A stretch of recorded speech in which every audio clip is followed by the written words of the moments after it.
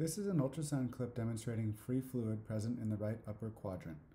Notice that the probe marker is seen here on the left side of the screen.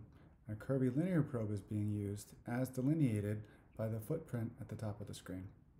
The view is obtained by placing the probe at approximately the right mid-axillary line, costal margin, with the probe marker pointed towards the patient's head. In this image, we can appreciate the liver seen moving across the screen here as the patient breathes.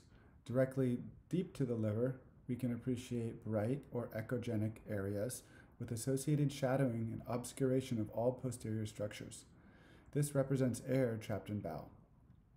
We can also appreciate an anechoic area above the liver and surrounding the liver tip here, which represents free fluid. In the setting of acute trauma or suspected ruptured ectopic pregnancy, this is concerning for intra-abdominal bleeding until proven otherwise. However, this ultrasound finding could also be consistent with ascites in the proper setting.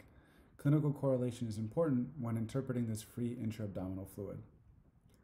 It's also important to note that in this view, true Morison's pouch is not actually visualized.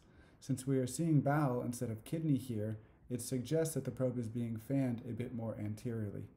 To find Morison's pouch, the probe could either be fanned or slid more posteriorly.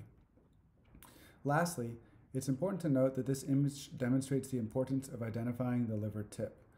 Um, when evaluating free fluid in the right upper quadrant, the liver tip is the most sensitive area of the FAST examination, so it is critical to ensure that after evaluating Morison's pouch, the probe is slid caudally towards the liver tip and then fanned anteriorly and posteriorly until the liver tip is fully visualized.